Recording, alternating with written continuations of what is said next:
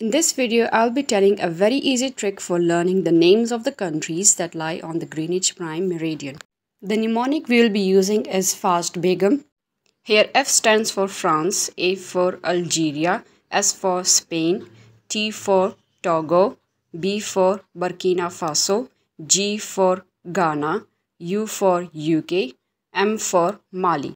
Apart from the countries, there is this territory Antarctica which also lies on the Greenwich Prime Meridian.